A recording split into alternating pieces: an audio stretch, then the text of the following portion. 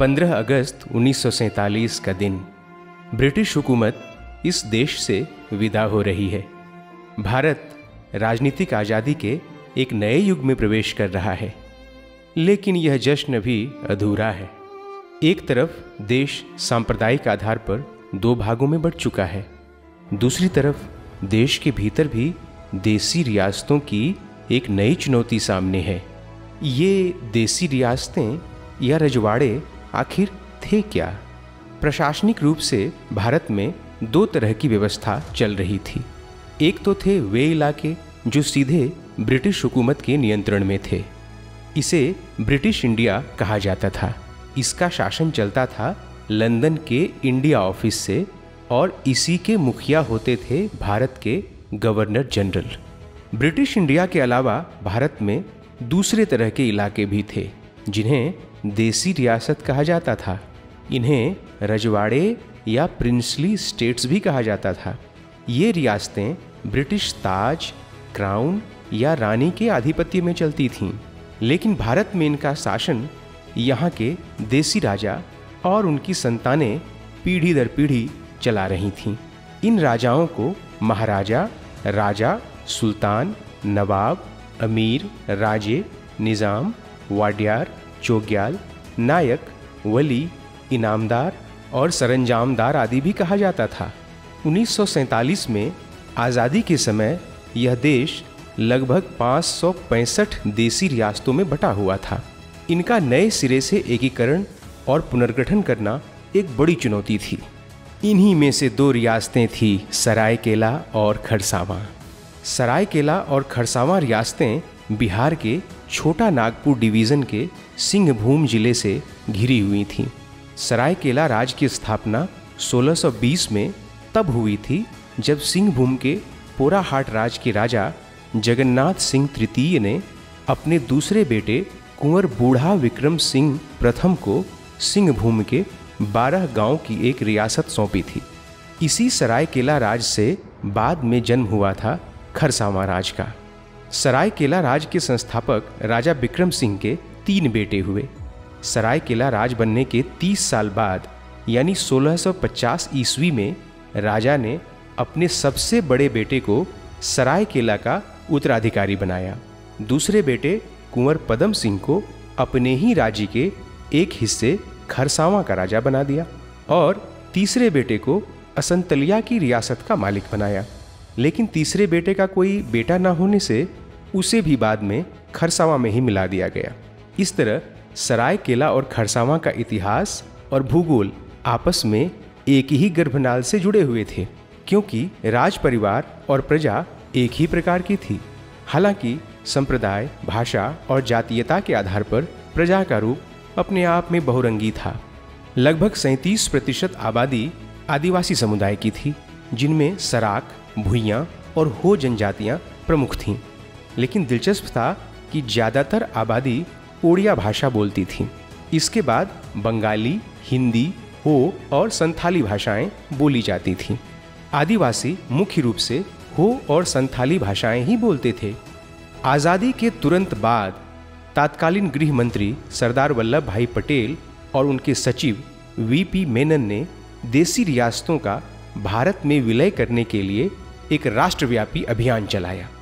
इसी सिलसिले में 13 दिसंबर 1947 को उड़ीसा के कटक में पूर्वी भारत के कई छोटे और बड़े राजाओं के साथ सरदार पटेल और वीपी मेनन की बैठक हुई। इनमें विभिन्न राजाओं ने भारतीय संघ के सामने अपने सारे विशेषाधिकारों, शक्तियों और अधिकार क्षेत्रों का समर्पण कर दिया। इन रियासतों को ब्रिटिश भारत के समय बने अलग अलग राज्यों जैसे बिहार, बंगाल और उड़ीसा आदि के साथ मिलाने का फैसला किया गया। इसी बैठक में अगले दिन, यानी 14 दिसंबर 1947 को, सरायकेला और खरसावा के प्रतिनिधियों को भी अपना अपना पक्ष रखना था कि वे बिहार में मिलना चाहते हैं या उड़ीसा में मिलना चाहते हैं।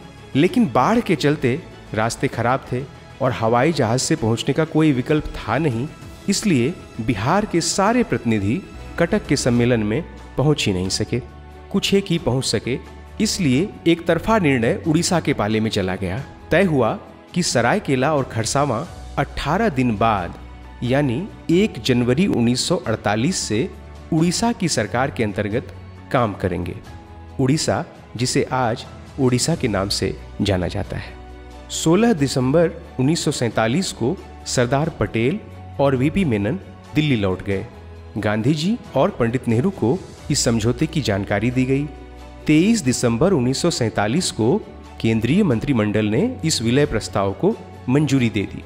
एक्स्ट्रा प्रोविंशियल जुरिस्टिक्शन एक्ट 1947 की धारा तीन की उपधारा दो के अंतर्गत यह प्रावधान किया गया कि सराय केला और खरसावा उड़ीसा राज्य के एक जिला की तरह कार्य करेंगे। अब इस निर्णय को लेकर बिहार की जनता में खलबली मच गई। खरसावा के राजा रामचंद्र सिंह देव, जो कटक सम्मेलन में मौजूद थे, उन्होंने यह कहा भी था कि हमारा राज्य बिहार के सिंहभूम ज़िले से घिरा हुआ है। हमारे क्षेत्र के आदिवासी चाहते हैं कि हम बिहार का हिस्सा बने, लेकिन वीपी मेनन ने उन्हें आश्वासन दिया कि अभी आप तत्काल उड़ीसा में शामिल हो जाइए। बाद में यदि ज़रूरी हुआ तो हम इस मुद्दे पर जनमत संग्रह करवाएँगे। यदि बहुमत चाहेगा तो हम फिर से आपको बिहार में मिलाने पर विचार करेंगे। इस बीच इस मामले में प्रसिद्ध आदिवासी नेता जयपाल सिंह मुंडा का प्रवेश हुआ। 45 वर्षीय जयपाल सिंह मुंडा उस दौरान भारतीय आदिवासियों और झारखंड आंदोलन के निर्विवाद रूप से एक सर्वोच्च नेता थे। उनकी शिक्षा ऑक्सफोर्ड के सेंट जोन्स कॉलेज में हुई थी और उनका चयन आईसीएस के लिए भी हुआ था। लेकिन उनकी सबसे बड़ी ख्याति थी कि उन्हीं की कप्तानी में 1928 के एम्स्टर्डम ओलंपिक में भारत ने हॉकी का पहला स्वर्ण पदक जीता था। वे भारतीय आदिवासियों में आधुनिक शिक्षा के पैरोकार थे। और आदिवासी महासभा के अध्यक्ष भी थे। झारखंड के लोग आज भी उन्हें आदर से मरंग गोम के, यानी सर्वोच्च नेता कहकर पुकारते हैं। जयपाल सिंह मुंडा ने भी सरायकेला खरसावा को उड़ीसा में शामिल किए जाने का विरोध किया। वह तो वैसे भी आदिवासियों का अलग राज्य चाहते थे और उसमें केवल सरायकेला खरसावा ही नहीं, बल्कि उड़ीसा के अन्य हिस्से के आदिवासियों को भी झारखंड में शामिल करना चाहते थे। इसलिए 45 वर्षीय इस लोकप्रिय नेता ने 1 जनवरी 1948 को खरसावा के हाट मैदान में आदिवासियों की एक विशाल रैली बुलाई। अब यही वह दिन था जब उड़ीसा सरकार के सशस्त्र मिलिट्री पुलिस की तीन कंपनियाँ और कई शीर्ष अधिकारी सरायकेला और खरसावा को आधिकारिक रूप से उड़ीसा में शामिल करने की कार्रवाई करने वाले थे। इधर जयपाल मुंडा के आह्वान से पूरे राज्य के आदिवासी समाज में हलचल पैदा हो गई। 31 दिसंबर 1947 की रात तक ही पूरे बिहार से लगभग पंद्रह हज़ार आदिवासी उस मैदान में इकट्ठा हो चुके थे। सुबह होने तक उनकी संख्या तीस हज़ार के आसपास पहुँच गई थी। वे अपने परंपरागत हथियारों जैसे तीर धनुष भाला बर्छा, कुल्हाड़ी और नंगी तलवारों से लैस थे। वे अपनी स्थानीय भाषा में तरह तरह के विलय विरोधी नारे लगा रहे थे, जिसका अर्थ कुछ ऐसा बनता था, झारखंड अपना है, उड़ीसा का शासन नहीं चाहिए। कैसे लेंगे झारखंड लड़ कर लेंगे झारखंड? अब इन सब नारों से प्रशासन परेशान हो गया था। धारा 344 के तहत निषेधाज्ञा लागू कर दी गई थी, लेकिन शायद ही उसका कोई फ़र्क पड़ा हो। उस दिन हाट, यानी साप्ताहिक बाज़ार का भी दिन था। इसलिए हाट मैदान में वैसे भी भीड़ बढ़ती जा रही थी। बहुत से लोग तो जयपाल सिंह मुंडा की एक झलक भर पाने के लिए आए थे, लेकिन दुर्भाग्य से जिन जयपाल सिंह के आह्वान पर इतने लोग इकट्ठा हुए थे, वे खुद ही नहीं आए। उनके नहीं आने का कारण आज तक पता नहीं चल पाया। परंपरागत हथियारों से लैस भीड़ उनका इंतज़ार करते हुए बेचैन होने लगी। भीड़ का धैर्य जवाब देने लगा। उनको संभालने वाला या दिशा देने वाला कोई प्रभावशाली स्थानीय नेता तक वहाँ नहीं था। प्रदर्शन एन मौके पर नेतृत्वविहीन हो गया। अब यह 40 से पचास हज़ार आदिवासियों की भीड़ यहाँ के राजा से मिलना चाहती थी। राजा रामचंद्र सिंह देव में अब भी उनकी आस्था हालाँकि कायम थी, लेकिन वे जानना चाहते थे कि आखिर ये रियासत उड़ीसा में क्यों मिला दिया गया। भीड़ को यह ठीक से बताया ही नहीं गया था कि भारत सरकार ने यह एक अंतरिम व्यवस्था की है और बाद में जनमत संग्रह तक का आश्वासन दिया है। खरसावा थाने में दर्ज हुई प्राथमिकी के अनुसार लोग हाट से निकलकर शहर की ओर चल पड़े।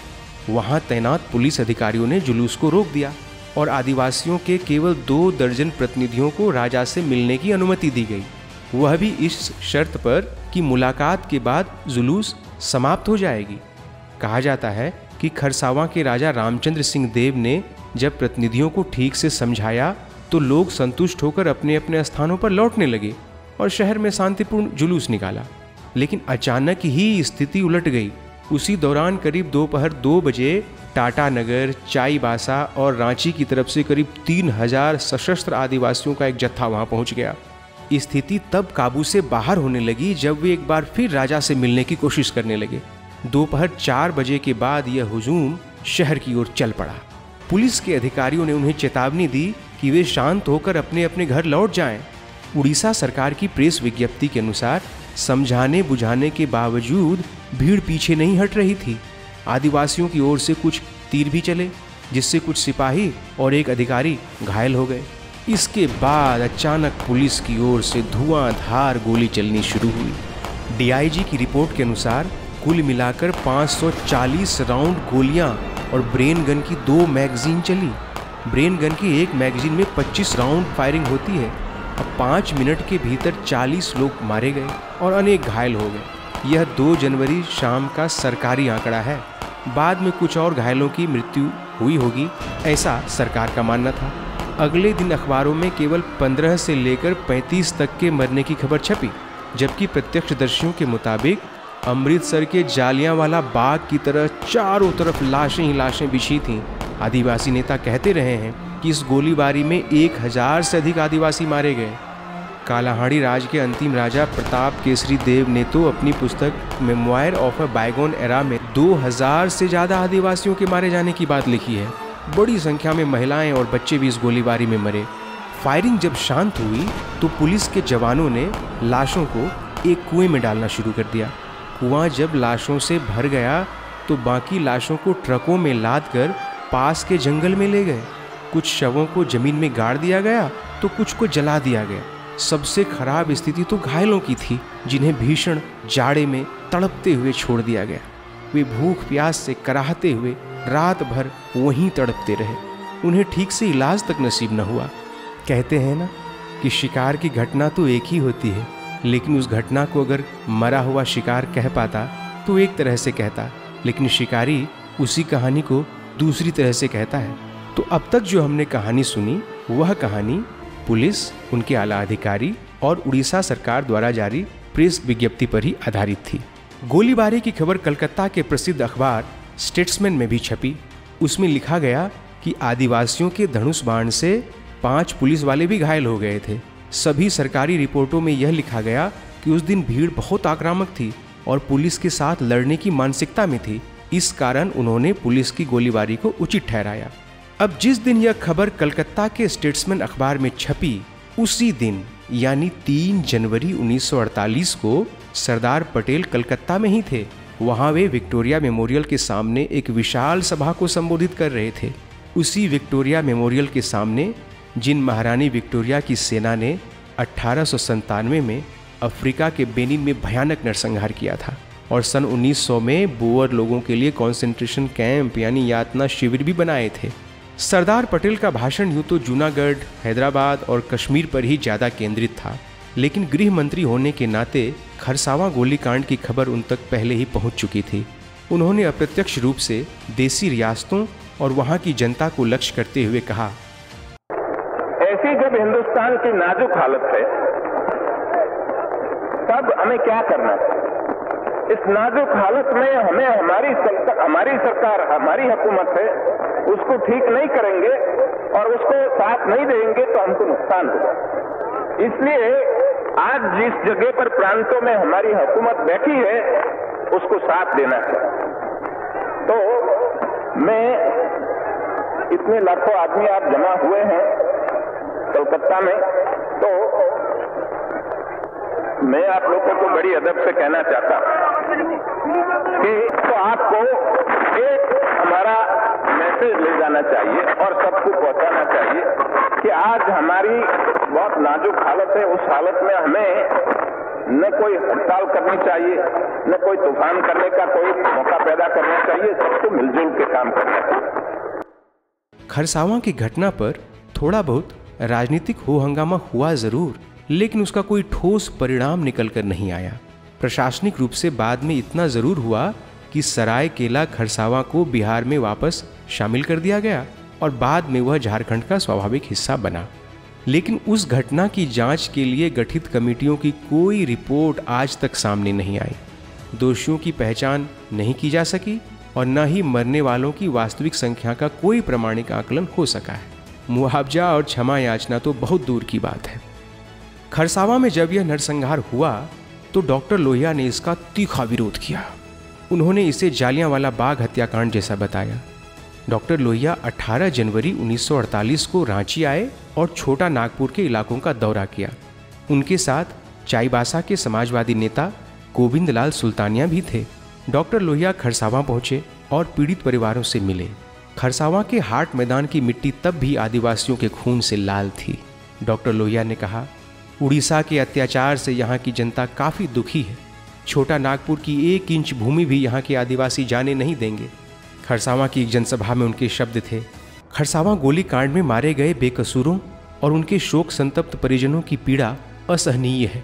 ऐसी घटना के बाद हमें अपनी आज़ादी संदिग्ध लगने लगी है। क्या फ़र्क पड़ता है कि पाँच महीने पहले अंग्रेज़ भारत छोड़कर गए हैं? हमारी पुलिस और फौज के रवैये में तो कोई अंतर नज़र नहीं आता है।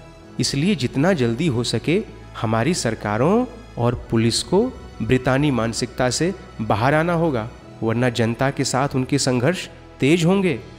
लेकिन सबसे महत्वपूर्ण है कि घटना के 10 साल बाद, यानी उन्नीस सौ अट्ठावन में, डॉक्टर लोहिया ने खरसावा पर अपना प्रसिद्ध लेख लिखा, जिसका शीर्षक था खरसावा का रक्त स्नान इस मारक लेख में उनकी मर्मांतक पीड़ा व्यक्त हुई थी। लेकिन सवाल है कि 10 साल बाद उन्होंने फिर से यह लेख लिखा ही क्यों? इसमें उन्होंने भारत में पुलिस फायरिंग की राजनीति का असली भेद कैसे खोला? उन्होंने पक्ष और विपक्ष समेत सभी राजनीतिक दलों के पाखंड पर कठोर टिप्पणियाँ क्यों की? इसका पूरा इतिहास और संदर्भ जाने बिना यह सारा प्रयास अधूरा ही रहेगा। दरअसल, पुलिस फायरिंग की घटनाओं पर लोहिया की बेचैनी की एक लंबी पृष्ठभूमि थी। हुआ यह कि सन 1936 में जवाहरलाल नेहरू कांग्रेस के अध्यक्ष बने तो उन्होंने लोहिया से आग्रह किया कि वे कांग्रेस का विदेश विभाग संभालें। विभाग की ओर से एक साप्ताहिक बुलेटिन भी प्रकाशित होने लगा। उन दिनों पंडित गोविंद वल्लभ पंत संयुक्त प्रांत की कांग्रेस सरकार के मुख्यमंत्री थे। उनकी पुलिस ने किसी अहिंसक प्रदर्शन के दौरान आंदोलनकारियों पर बेतहाशा गोली चलाई, जिसमें कुछ लोग मारे चले गए। लोहिया ने अपने साप्ताहिक बुलेटिन में इस घटना की तीखी आलोचना की। यह बुलेटिन विदेशों में भी जाता था। गोविंद वल्लभ पंत ने जवाहरलाल नेहरू से शिकायत की। नेहरू ने लोहिया से कहा कि यह ठीक नहीं है, इससे कांग्रेस की बदनामी होती है।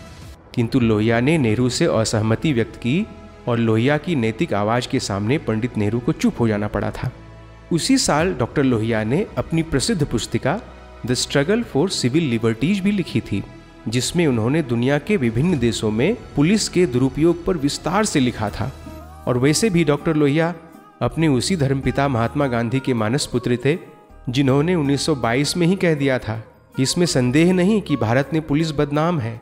दमन की आजकल की क्रूर कार्रवाइयों से यह बदनामी शायद और बढ़ी है, लेकिन हमें यह नहीं भूलना चाहिए कि पुलिस सरकार के हाथ का महज एक हथियार है। खरसावा की घटना से ठीक छह महीने पहले 5 जून 1947 को बम्बई और पुणे के कॉलेजों से विद्यार्थियों का एक दल गांधी जी से बातचीत करने आया था। पुलिस की चर्चा छिड़ते ही महात्मा गांधी ने कहा था, अगर मेरा वश चलता तो मैं सेना और पुलिस में बुनियादी सुधार से ही शुरुआत करता। इंग्लैंड में पुलिस को लोग अपना सर्वश्रेष्ठ मित्र, सहायक और कर्तव्य भावना का मूर्त रूप समझते हैं। मगर भारत में पुलिस को आम आदमी खौफनाक और अत्याचारी समझता है। फिर 10 साल बाद उन्नीस सौ अट्ठावन में खरसावा में रक्त स्नान में डॉक्टर लोहिया ने भारतीय राजनीति और पुलिस के अंतर संबंधों की तहें उधेड़ कर रख दी। इस लेख में डॉक्टर लोहिया ने लिखा, आज ऐसी पार्टी को मज़बूत करना कितना ज़रूरी है जो सिद्धांतों पर चलती हो और बैसाखियों का सहारा नहीं लेती हो, इसलिए वर्तमान राजनीति की मुख्य धारा में अकेली पड़ जाती हो। यह खरसावा के रक्त स्नान के संबंध में अन्यत्र किए गए उद्घाटन से भी स्पष्ट होता है। इस तरह के रक्त स्नान सारी दुनिया में हो रहे हैं और सच्चाई को भी इसी तरह सब जगह दबाया जा रहा है। इसलिए सिद्धांत वाली पार्टी की ज़रूरत है, लेकिन भारत में इसकी और भी ज़रूरत है। यह देखते हुए कि यहाँ की वर्तमान राजनीति में सिद्धांत का पूरा अभाव है। लोहिया खरसावा को याद करके यह बात इसलिए लिख रहे हैं क्योंकि उन्नीस सौ चौवन में उनकी खुद की पार्टी की सरकार ने ध्यान से सुनिएगा, प्रजा सोशलिस्ट पार्टी की सरकार ने केरल में आंदोलनकारियों पर पुलिस फायरिंग की और सात लोगों की जान ले ली थी। लगभग डेढ़ साल तक अपनी ही पार्टी के नेतृत्व के साथ संघर्ष करने के बाद और लगभग अकेले पड़ने के बाद लोहिया अपनी एक अलग सोशलिस्ट पार्टी बना चुके थे। पूरी घटना इस तरह थी। उन्नीस सौ चौवन में त्रावणकोर कोचीन विधानसभा के मध्यावधि चुनाव हुए। इसमें प्रजा सोशलिस्ट पार्टी और कम्युनिस्ट पार्टी ने सीटों का तालमेल कर कांग्रेस के खिलाफ चुनाव लड़ा। चुनाव में किसी भी पार्टी को स्पष्ट बहुमत मिला नहीं। तब विचित्र रूप से 19 स्थान जीतने वाली प्रसोपा ने कांग्रेस के समर्थन से पहली समाजवादी सरकार बनाई। तभी वहाँ भी सरायकेला खरसावां जैसा ही मामला उठ खड़ा हुआ। 11 अगस्त उन्नीस सौ चौवन को दक्षिण त्रावणकोर में तमिल भाषी लोग एक शांतिपूर्ण प्रदर्शन कर रहे थे। उनकी मांग थी कि त्रावणकोर कोचीन के जो तमिल बहुल हिस्से हैं, उन्हें मद्रास राज्य में शामिल किया जाए। इन प्रदर्शनकारियों पर पुलिस ने अंधाधुंध फायरिंग की, जिससे सात लोगों की मौत हो गई और एक दर्जन से अधिक लोग घायल हो गए। प्रसोपा के महासचिव डॉक्टर लोहिया खुद ही जेल में थे। यूपी में सिंचाई जल कर, यानी नहर रेट बढ़ाने के खिलाफ सिविल नाफरमानी की वजह से यूपी सरकार ने उन्हें फरुखाबाद में गिरफ़्तार कर लिया था। लोहिया को जब यह समाचार मिला तो उन्होंने जेल से ही अपनी पार्टी के मुख्यमंत्री पट्टम थाणु पिल्ले को टेलीग्राम भेजा और कहा कि पुलिस फायरिंग की नैतिक ज़िम्मेदारी लेते हुए आप तत्काल मुख्यमंत्री पद से त्यागपत्र दें और गोलीबारी के लिए जिम्मेदार अधिकारियों को निलंबित करें। इस कांड की न्यायिक जाँच भी कराएँ। टेलीग्राम की एक प्रतिलिपि उन्होंने पार्टी के अध्यक्ष आचार्य कृपलानी को भी भेज दी। लोहिया के टेलीग्राम ने पार्टी में हंगामा खड़ा कर दिया। पट्टम थाणु पिल्ले ने इस्तीफा देने से इनकार कर दिया। पार्टी अध्यक्ष ने भी तार की तरफ़ कोई ध्यान नहीं दिया। बाद में पार्टी के भीतर भी किसी तरह इसकी लिपापोती कर दी गई। रिहा होने के बाद 28 अगस्त उन्नीस सौ चौवन को इलाहाबाद में लोहिया ने कहा, आज़ाद भारत की सरकारों को चाहिए कि वह आम भारतीयों के जीवन की भी कीमत समझे, न कि उन पर गोली चलाए और उन्हें कीड़े मकोड़े की तरह मार डाले।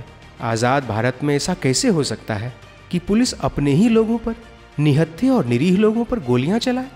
लोहिया जैसे अक्खड़ और नीतिवान सत्पुरुष गांधीवादी सिद्धांतों के बहुत पक्के थे। उन्होंने इस मुद्दे पर पार्टी छोड़ दी। इसके अगले साल 31 दिसंबर 1955 और 1 जनवरी 1956 के दौरान उन्होंने नई पार्टी, सोशलिस्ट पार्टी की स्थापना की। एक लाख किसानों के साथ प्रदर्शन किया और मैनकाइंड नाम की पत्रिका निकालनी शुरू की। पत्रिका का नाम भी ऐसा चुना गया कि राजनीतिक दल और पुलिस मानव जाति यानी मनुष्य मात्र की गरिमा को गंभीरता से लेकर चलें। पुलिस फायरिंग को लेकर अपने इस्तीफे वाले पत्र में लोहिया ने लिखा, यह आरोप है कि दंगाई, भीड़ कम्युनिस्ट या उनके द्वारा उकसाई गई थी। इससे क्या फ़र्क पड़ता है कि वे कम्युनिस्ट थे या कांग्रेसी? फिर भी यह एक प्रचलित चमत्कार है कि अवसरवाद किस तरह कम्युनिस्टों या अन्यों के चुंबन और हत्या के बीच पेंग मारता रहता है। मैं यदि यह मान भी लूँ कि दंगाई एकदम अवांछित लोग थे और कुछ उपाय ज़रूरी था तो भी गोलीबारी नहीं। तब तक नहीं, जब तक विद्रोह या हत्या न हो। कृपया राष्ट्रीय कार्यकारिणी से मेरा इस्तीफा स्वीकार कर उसकी घोषणा कर दीजिए। लोहिया ने पार्टी अध्यक्ष को एक दूसरा पत्र भी लिखा, जिसमें उन्होंने मानवता का हृदय झकझोर देने वाली बात लिखी। लोहिया ने पत्र में लिखा मैं पार्टी में उन लोगों से चिंतित हूँ जो अपने को गांधी का अनुयायी बतलाते हैं। ये गांधीवादी और मानवतावादी दरअसल लुटेरे हैं। जब तक दूसरे हत्या करते हैं, तब वे उन्हें बेलगाम, दुस्साहसी और अविवेकी कहते हैं। लेकिन अपने द्वारा कोई हत्या किए जाने पर तथ्यों, प्रक्रियाओं और इसी तरह की अन्य अप्रासंगिक मुद्दों को उठाया जाने लगता है। आप और कांग्रेस पार्टी दोनों अपनी गोलीबारी के लिए कम्युनिस्टों और असामाजिक तत्वों को जिम्मेदार ठहराते हैं। जब कांग्रेस पार्टी ऐसा करती है तो आप उसे बलि के बकरे की खोज कहते हैं। और जब आप करते हैं तो स्वयं को गांधी या एरसमस का अनुयायी बतलाते हैं। मैं नहीं जानता कि मैं क्या करूँ। ऐसा लगता है कि आपकी पार्टी के प्रचारकों के झुंड में मैं ही अकेला हूँ, जो ऐसी चीज़ों से चिंतित हूँ। कौन जानता है? आप सही हो सकते हैं, लेकिन मैं मानता हूँ कि आप पूरी तरह गलत हैं। अतः मुझे कार्यकारिणी से तो जाने ही दीजिए। पुलिस गोलीबारी का यह मामला गंभीर है। दस प्रतिशत को छोड़ शेष भारतीय अपने चेहरे पर मक्खियों की भिनभिनाहट लेकर जन्म लेते हैं और मक्खियों की तरह ही मर जाते हैं।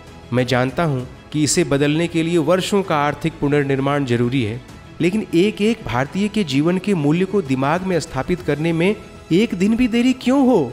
इस देश में पुलिस गोलीबारी करीब करीब हमेशा ही सरकार के उस मानस की अभिव्यक्ति है कि भारत के लोग मक्खी हैं मक्खी, जिन्होंने दूसरों का खून नहीं बहाया है। उन लोगों के खून में सने अपने हाथ को देखने का साहस मुझमें नहीं है। मुझे आपसे यह कहने की ज़रूरत नहीं कि सरकार के पास भीड़ पर पानी छोड़ने वाले फब्बारेदार नलिकाएँ, आँसू गैस के गोले और अनेक अन्य इसी तरह के बल प्रयोग के साधन मौजूद होते हैं। इसके बाद जब पार्टी ने सफ़ाई दी कि हमारी नीतियों में पुलिस फायरिंग को लेकर अस्पष्टता है तो उड़ीसा के पुरी में 1955 में अपने एक भाषण में लोहिया ने कहा। क्या शांतिपूर्ण उपायों को तभी अपनाया जाएगा जब पार्टी विपक्ष में ही होगी? और जब वह सत्ता में होगी तो उन्हें छोड़ दिया जाएगा? हमारी पार्टी की नीति में पुलिस पर जिला और स्थानीय पंचायतों के नियंत्रण की बात तो असंदिग्ध रूप से स्पष्ट एवं ठोस है। और जो भी मन ईमानदारी से इसे स्वीकार करेगा, वह पुलिस फायरिंग से परहेज करेगा ही करेगा।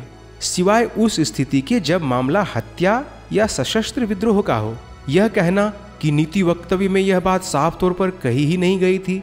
ऐसा तो यह कहने के समान है कि घूस या चोरी के संबंध में चूँकि सरकार ने कोई स्पष्ट नीति नहीं बनाई है, इसलिए घूस या चोरी का काम किया जा सकता है। इस तरह का तर्क धोखेबाज मन का द्योतक है। अगस्त 1956 में मैनकाइंड के एक लेख में डॉक्टर लोहिया ने कहा, महात्मा गांधी जैसे महान गुरु की छत्र छाया में हमने सविनय अवज्ञा का आंदोलन करना तो सीख लिया लेकिन गांधीवादी तरीकों से सरकार चलाना नहीं सीख सके। इसलिए वे पारंपरिक, जालिमाना तरीके से ही शासन चलाना चाहते हैं। क्या आप पुलिस फायरिंग पर भी नैतिकता की बातें इस पर निर्भर करती हैं कि वह पार्टी सत्ता में बैठी है या विपक्ष में? लोहिया के शब्द थे, हिंदुस्तान की सरकारें बनाने वाले लोग ओछे हैं, ओछे। वे नई रीतियाँ नहीं बना सकते। वे पारंपरिक ढंग से हुकूमत करना चाहते हैं। पतित भीड़ द्वारा बस जलाने, पत्थर फेंकने और पुलिस के द्वारा गोली चलाने में उतना ही फासला होता है जितना कि विरोधी राजनीतिक पार्टियों की बेंचों में और सरकारी पार्टी की बेंचों में होता है। खरसावा रक्त स्नान वाले लेख में लोहिया ने आगे लिखा, उस दिन खरसावा में 500 से अधिक लोग मरे, लेकिन भारत को और दुनिया को यह बताया गया कि मरने वालों की संख्या 15 से काफ़ी नीचे रही। किसी भी राजनीतिक पार्टी या अखबार ने सच को बताने की ज़रूरत ही नहीं समझी। इसका कारण यह हो सकता है कि मरने वाले आदिवासी पहाड़ी कबीले और जंगलों में रहने वाले थे। उनके जीवन और उनके मत की इस देश में कोई कीमत नहीं है। जहाँ दिमाग का कारोबार कुछ पुश्तैनी ऊँची जातियों के पास सीमित है, उनके विचार अपनी जाति से बंधे हुए हैं। खरसावा रक्त स्नान वाले लेख में डॉक्टर लोहिया आगे लिखते हैं, आदिवासियों की जातियों का नेतृत्व उनके लिए काम नहीं करता, सिवाय उनके साथ घर पर रहने के। वह उनके ऊपर होने वाले अत्याचारों को खत्म करने के लिए कोई आंदोलन नहीं करता। न ही उनके लिए राजनीतिक कार्रवाई में कष्ट सहता है, बल्कि वह केवल उनका वोट प्राप्त करता है क्योंकि वह उनका हिस्सा होता है और फिर वह उन वोटों को वर्तमान सरकार के हाथों बेच देता है। डॉक्टर लोहिया का कुछ इशारा खरसावा रक्तपात के दिन नेतृत्व विहीन हो चुके आदिवासियों की भीड़ के बारे में भी था। महान नेता जयपाल मुंडा के प्रति सम्मान रखते हुए भी यह प्रश्न तो उठा ही कि आखिर वे ऐन मौके पर वहाँ पहुँचे क्यों नहीं? नरसंहार के ऊपर उनका बयान भी चौदह दिन बाद क्यों आया? खरसावा रक्त स्नान वाले लेख में डॉक्टर लोहिया ने आगे लिखा, खरसावा से संबंधित सच को दबाए जाने का कारण वह जड़ता भी है जो भारत की राजनीतिक पार्टियों में आ गई है। जड़ता तो आत्मा की थकावट के कारण है, लेकिन यह थकावट इस कारण भी है कि ये पार्टियाँ चंद संख्या में शासक वर्गों की मिल्कियत हैं। जिनके पास भारी तादाद में निर्धन, गूँगे और बेसहारा लोग हैं, उस रक्त स्नान में 500 से अधिक लोग मारे गए और यह जनसंहार कराया महात्मा गांधी की पार्टी ने। महात्मा गांधी की पार्टी द्वारा जनसंहार कराए जाने की बात। लोहिया के ऐसा कहने का कारण था कि जिस दिन खरसावा में यह नरसंहार हुआ, उन दिनों उड़ीसा में कांग्रेस पार्टी की सरकार थी, जिनके मुख्यमंत्री थे डॉक्टर हरे कृष्ण मेहताब। महात्मा गांधी की पार्टी द्वारा पुलिसिया जनसंहार कराने की बात लोहिया ने बारंबार अन्य अवसरों पर भी की थी। जैसे 1 जनवरी 1956 को हैदराबाद में सोशलिस्ट पार्टी की स्थापना वाले सम्मेलन में भी डॉक्टर लोहिया ने गांधी जी की पार्टी यानी कांग्रेस पार्टी द्वारा पुलिस के दुरुपयोग पर तीखी टिप्पणी करते हुए कहा। विश्व के सारे इतिहास में किसी स्वतंत्र और लोकतांत्रिक सरकार ने अपनी जनता पर इतनी बार गोलियाँ नहीं चलाई होगी जितनी भारतीय सरकार ने चलाई हैं। महात्मा गांधी और अहिंसा का देश पुलिस द्वारा लोगों पर गोली चलाने और इससे होने वाली मृत्यु में सबसे आगे रहना चाहता है। इस स्थिति पर खेद प्रकट करना और दोषी सरकारों की निंदा करना ही काफ़ी नहीं है। भीड़ पर दोष डालना और उन पर उपद्रव का आक्षेप लगाना भी उचित नहीं है। जबकि सरकार द्वारा मारे गए सैकड़ों व्यक्तियों के मुकाबले भीड़ के हाथों एक या दो पुलिस वाले ही मारे गए हैं। इसमें कोई संदेह नहीं कि सरकारें पागलों की तरह काम करती रही हैं। फिर भी गांधी जी का उत्तराधिकारी होने का दावा करने वाली सरकारें केवल जनता के असामान्य व्यवहार का आरोप लगाकर बच नहीं सकती, बल्कि उन्हें अधिक संतोषजनक उत्तर देने की ज़रूरत है। आगे 19 जुलाई उन्नीस सौ उनसठ को हैदराबाद की एक सभा में तो लोहिया ने कांग्रेसी सरकार के नेतृत्व की तुलना चंगेज खां से कर दी। लोहिया ने कहा, यह सही है कि गांधी जी के चेलों ने बंदूक का जितना इस्तेमाल किया है, उतना चंगेज खां के चेलों ने भी शायद नहीं किया होगा। चंगेज खां के चेले तो आपसी जंग में बंदूक का इस्तेमाल करते थे, जब दोनों तरफ़ पलटने रहती थीं। यहाँ गांधी जी के चेलों को तो मज़ा आता है, और अब मैं देख रहा हूँ कि मार्क्स साहब के चेलों को भी वही मज़ा आता है। सामने तो बिना बंदूक वाले हों, और इधर पुलिस की पलटन के हाथ में गोली और बंदूक हो तो इन्हें बड़ा मज़ा आया करता है। गोली कोई रोज थोड़ी चला करती है। गोली तो तब चलती है जब 40 करोड़ लोग अंगड़ाई नहीं, बल्कि ऐसा लगे कि शायद जाग रहे हैं। तो गोली चला दी, ये ठीक हो जाए। गोली तो तब चलती है जब शासक वर्ग को उसकी एक खास परिस्थिति में ज़रूरत हो जाती है। लेकिन हमेशा के लिए 40 करोड़ लोगों को सुला देने के लिए गोली कोई दवा नहीं है। उसकी दूसरी दवा है कि मुँह में ऐसी अंग्रेज़ी बोली रखो जिसको सुनकर साधारण आदमी को अपने बारे में हीन भावना पैदा हो जाए कि मैं तो छोटा आदमी। खरसावा रक्त स्नान में डॉक्टर लोहिया ने विपक्ष की पाखंडपूर्ण भूमिका को भी उजागर किया था। ऐसा डॉक्टर लोहिया जैसे सत्यधर्मी ही कर सकते थे। खरसावा जनसंहार में विपक्ष की भूमिका को लेकर डॉक्टर लोहिया ने लिखा, उस विपक्ष को क्या कहें, जिसके नेतृत्व में आदिवासियों को दूर दूर के इलाकों से उस शहर में इकट्ठा किया गया था। इस नेतृत्व में उड़ीसा के सामंती मुखियों का नेता भी था, जो इस समय उड़ीसा में कांग्रेस के कुशासन का मुख्य विपक्ष बना हुआ है। उसने पहले खरसावा को बिहार में शामिल करने के लिए आंदोलन चलाया था और अब उसे वापस उड़ीसा में लाने की कोशिश कर रहा है। यहाँ पर डॉक्टर लोहिया तत्कालीन उड़ीसा विधानसभा में विपक्ष के नेता राजेंद्र नारायण सिंह देव की बात कर रहे थे। राजेंद्र नारायण सिंह देव उस समय तो गणतंत्र परिषद के नेता थे लेकिन वास्तव में वे सरायकेला रियासत के राजा आदित्य प्रताप सिंह देव के पुत्र थे। आदित्य प्रताप सिंह देव ने राजेंद्र नारायण सिंह देव को उड़ीसा के पटना रियासत की गद्दी सौंपी थी। माना जाता है कि खरसावा जनसंहार के दौरान राजेंद्र नारायण सिंह देव ने सरायकेला खरसावा को उड़ीसा में मिलाने का विरोध किया था। विरोध के लिए आदिवासियों को जुटाने में भी उनकी कुछ भूमिका मानी जाती है। लेकिन बाद में जब वे उड़ीसा की राजनीति में प्रमुख भूमिका में आ गए और बाद में उड़ीसा के मुख्यमंत्री तक बने, तब उन्होंने सरायकेला खरसावा को उड़ीसा में मिलाने की कोशिश की। लोहिया हमेशा से ऐसे राजनीतिक पाखंड के विरोधी रहे थे, इसलिए खरसावा रक्त स्नान में आगे उन्होंने लिखा, नीतियों का कोई महत्व नहीं, वायदों का कोई महत्व नहीं, जिंदगियों का भी कोई महत्व नहीं। महत्व इस बात का है कि पद को कैसे हासिल किया जाए और कैसे बनाए रखा जाए। झूठ, छल कपट और मोर्चों का बदलना इतना ज़रूरी काम भारतीय राजनीति में हो गया है कि लोग मान कर चलते हैं कि यह सब होना ही है और सिर्फ़ इस समस्या से सरोकार रखते हैं कि कौन सरकार के साथ है और कौन उसके खिलाफ। भारतीय राजनीति की पाखंडपूर्ण और विरोधाभासी परिस्थितियों पर टिप्पणी करते हुए 9 अगस्त 1955 को अपने पत्र में डॉक्टर लोहिया ने लिखा, यहाँ एक तरफ़ कपड़े की मिले बनती रहती है और मुँह से चरखे की प्रशंसा भी होती रहती है। पूंजीवाद और विषमता के ढांचे में समाज ढलता जाता है और दूसरी तरफ़ समाजवाद और समता के नारे भी लगते रहते हैं। एक तरफ़ पुलिस की गोलियाँ निहत्ती जनता को भूनती रहती हैं और दूसरी तरफ़ अहिंसा की महिमा भी गाई जाती रहती है। ऐसी कठोर टिप्पणी भारत की पाखंडपूर्ण राजनीति पर डॉक्टर लोहिया ने की। उन्नीस सौ उनसठ में तमिलनाडु के मदुरै में भी जातीय दंगा भड़क उठा। तब वहाँ भी पुलिस फायरिंग की घटनाएँ हुई।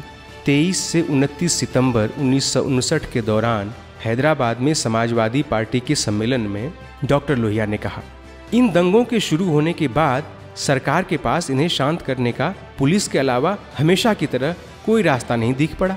एक भी पुलिस की जान नहीं गई, जबकि सैकड़ों लोगों की जान गई।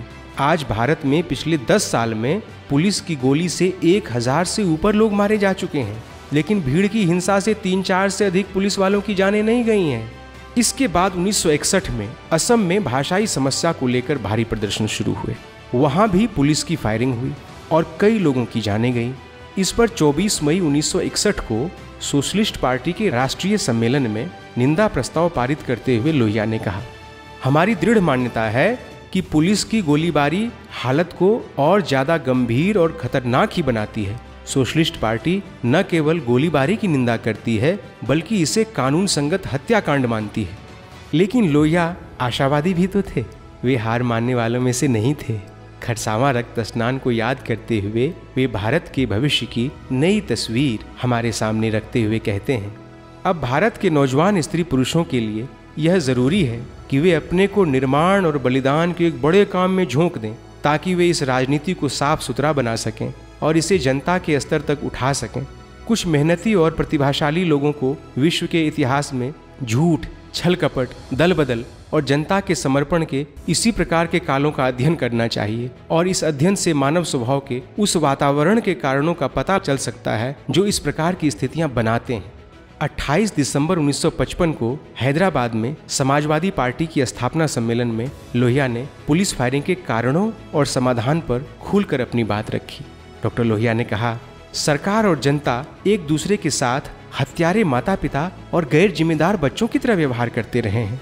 एक विशेष प्रकार का पिता, जो साधारणतः स्नेहपूर्ण रहता है, लेकिन अपने आदेश का उल्लंघन होते देखकर तुरंत हत्यारा बन जाता है। और व्यक्ति, पिता, जो काम बेंत या कोड़े से लेता है, सरकारी पिता, वही काम पुलिस की गोलियों से लेता है। लेकिन बच्चे कुछ समय के बाद पिता की मार को भूल जाते हैं या भूल जाना बेहतर समझते हैं, पिता पुत्र का साधारण संबंध फिर से स्थापित हो जाता है। हिंदुस्तान के लोग ऐसे गैर जिम्मेदार बच्चों की तरह बन गए हैं, जो कभी पत्थर फेंकते हैं या बसें जला देते हैं और जो अपने हत्यारे माता पिता की पुलिस की गोलियों से निर्दयता के साथ मारे जाते हैं। जल्दी ही सामान्य संबंध फिर से स्थापित हो जाते हैं। ऐसे स्थान और भीड़ें जो पुलिस की निर्दय गोलियों की शिकार होती हैं कुछ दिनों बाद स्वयं अपने अपने हथियारों का स्वागत करती हुई देखी जाती हैं। उसी तरह जैसे कोई शैतान बच्चा जो पहले पीटा गया हो, अपने हत्यारे माता पिता के पैरों से चिपटा रहता है। डॉक्टर लोहिया ने आगे कहा, हिंदुस्तान के लोगों में बातों को जल्दी भूल जाने की आदत पड़ती जाती है। सिर्फ़ घटनाओं के प्रति चेतना रहती है। न उनका कारण मालूम रहता है और न समाधान खोजा जाता है। जब तक हत्यारे माता पिता और शरारती बच्चे का संबंध समाप्त नहीं किया जाता जब तक हिंदुस्तान के लोग अपने आप को शांतिपूर्ण हलचलों के कड़े अनुशासन में नहीं लाते, जिसमें पत्थर फेंकने और बसें जलाने का कोई स्थान नहीं होता, जब तक अपने ही लोगों पर गोली चलाने वाली सरकारों के प्रति उनमें अस्थायी निरादर और क्रोध की भावना नहीं आती, जब तक जनता और सरकार एक दूसरे के व्यक्तित्व और उसके सीमित अधिकार का आदर करना नहीं सीखते, तब तक भीड़ और पुलिस के रिश्तों का सही नियमन नहीं हो सकता है। ऐसा डॉक्टर लोहिया ने कहा। अभी तक डॉक्टर लोहिया द्वारा पुलिस हिंसा की तीखी आलोचनाओं से यह न समझें कि लोहिया पुलिस बलों के खिलाफ कोई दुर्भावना रखते थे। लोहिया एक निहायत करुणावान सत्पुरुष थे। वह हमेशा ही कमजोरों के पक्ष में खड़े होकर उन्हें न्याय दिलाने के लिए लड़ते थे। इसलिए जब एक बार स्वयं पुलिस बलों की स्थिति दयनीय हो गई तो लोहिया उनके हक में भी आंदोलन में कूद पड़े। बात उन्नीस सौ सड़सठ की है।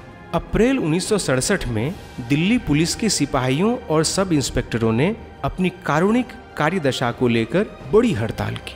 लेकिन सरकार ने इस आंदोलन को कुचलने के लिए पुलिस कर्मचारियों पर भयानक जुल्म किए। हज़ारों की गिरफ्तारियाँ हुई, संगीनों की नोकों और बंदूक के कुंदों से पुलिस वालों को ही पीटा गया। पंजाब सशस्त्र पुलिस को शराब पिलाई गई थी ताकि वे अपने ही भाइयों को बेरहमी से पीट सकें। आंदोलन को दबाने के लिए सीमा सुरक्षा बल लगाया गया। इस बार लोहिया खुलकर पुलिस के जवानों के पक्ष में मैदान में उतर गए। लोहिया ने दिल्ली में कई सभाओं में भाषण करते हुए यह कसम दिलाई, हम साधारण जन और पुलिस जन यह कसम खाते हैं कि एक दूसरे को कभी नहीं सताएँगे। हम नैतिक अपराधों को रोकेंगे, हम कभी रिश्वत नहीं लेंगे, हम अपराधियों को पकड़ेंगे और सादा, स्वच्छ जीवन बसर करने में एक दूसरे की मदद करेंगे। ऐसा वचन लोहिया ने दिलाया।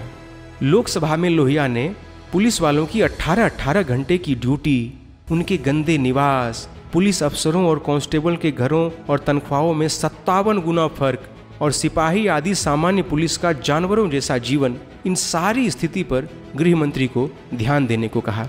इधर पुलिस को लोहिया ने कहा कि आप सरकार से कहें कि हम आपका जायज़ हुक्म तो मानेंगे, लेकिन आपका नाजायज हुक्म नहीं मानेंगे। हुक्म दो तरह के होते हैं, एक उचित और एक अनुचित। मैं पुलिस के सिपाहियों को कहना चाहता हूँ कि जो हुक्म अनुचित हैं, जो अनुचित आदेश हैं, उनको मत मानो। निष्ठा और गुलामी में फ़र्क होता है। पीड़ित पुलिस जनों के पक्ष में लोहिया, भूपेश गुप्त एस एम बनर्जी, निर्मल चंद्र चटर्जी जैसे कई महान नेताओं ने दिल्ली में सभाएँ की, लेकिन सरकार के भयंकर दमन के आगे आखिरकार पुलिस जनों ने अपना हड़ताल वापस ले लिया। डॉक्टर लोहिया इससे बहुत दुखी हुए थे। तब उन्होंने कहा था, दिल्ली में पुलिस और जनता के बीच 150 बरस की दीवार को तोड़ने का बहुत ज़बरदस्त और बढ़िया मौका था। अब भी कुछ दूरी है।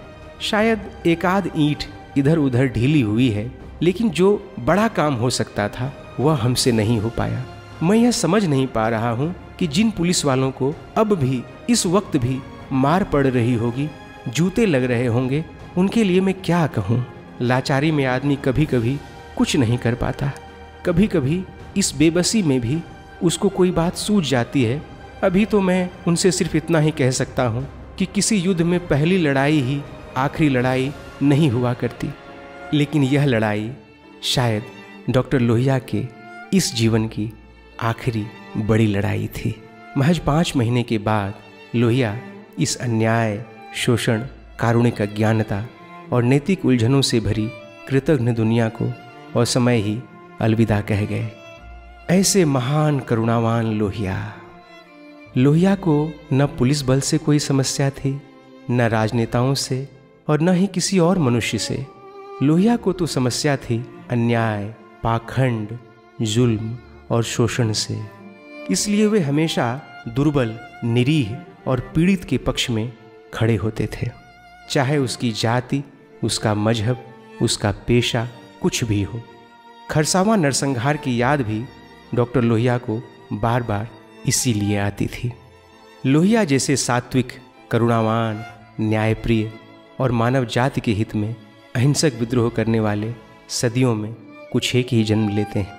यही इस मानव जाति का शायद सबसे बड़ा दुर्भाग्य है कि जीते जी इन सात्विक सत्यवान मनुष्यों की बात ठीक से सुनी नहीं जाती है। उनके हाथ में कुछ होता नहीं है। वे असहाय की भांति छटपटा कर रह जाते हैं और बाद में भी हम उनकी बातों को ठीक से समझ नहीं पाते। भले ही उनकी तस्वीरों और मूर्तियों की पूजा करते रहें, लेकिन उनकी जीवन शिक्षा हमारे वास्तविक जीवन में उतर नहीं पाती। जिस दिन हम ऐसा कर पाए, उस दिन डॉक्टर लोहिया का भी निराकार अक्ष इसी कायनात के शाश्वत नूर में उभर कर मुस्कुराएगा।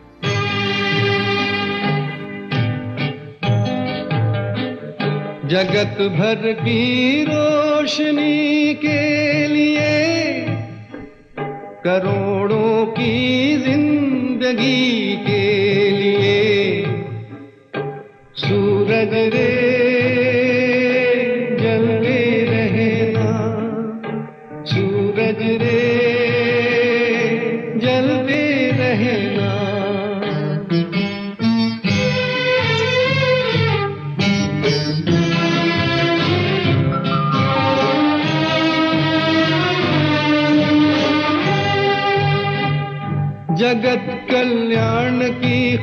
खातिर तू जन्मा है, तू जग के वास्ते हर दुख उठा रे।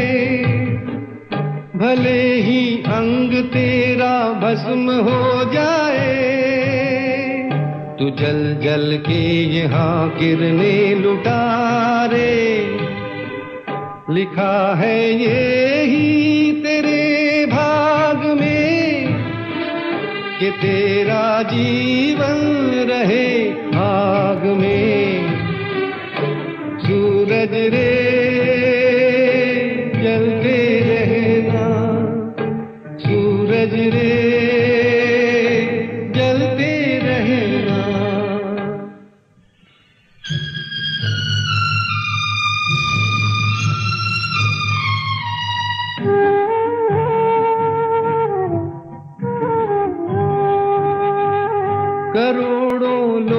पृथ्वी के भटकते हैं।